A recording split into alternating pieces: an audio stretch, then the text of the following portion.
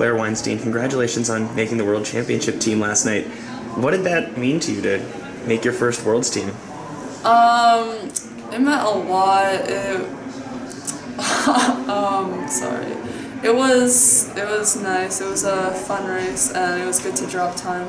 Yeah. So that's good. Did you think it would be in the 200 freestyle that you make your first one? Um, I don't know. I kind of came into me like thinking like it was possibility that like I would make the relay. Like like in prelims, I was just trying to make like the finals, and the finals like I was just trying to get top six. So it was cool to get Yeah. top two.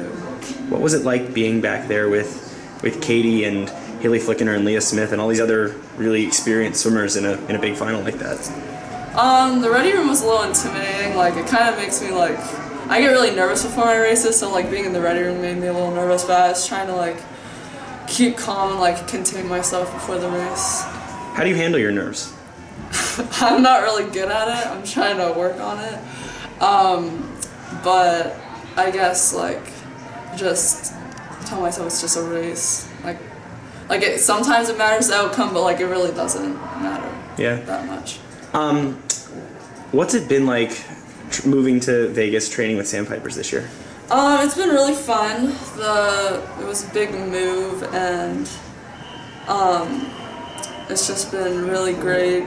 Like everybody on the team is like super nice and like supportive. I love I just love everybody that I get to train with, so it's really good.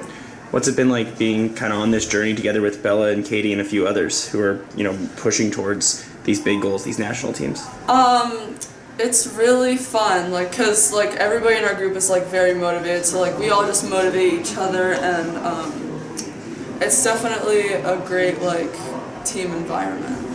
What motivates you? Um, just like I love to swim, like it's just what I've loved to do ever since I've been little. So I guess that and like friends and family and stuff. Yeah. I believe you're the youngest swimmer to make a world championship team or an Olympic team since 2007 or something like that. What does that mean to have had this kind of success, you know, at this point in your career al- already? Um, it's cool. I mean, yeah, I guess that's all I have to Yeah. say. Um, what, what's the plan for the rest of the meet?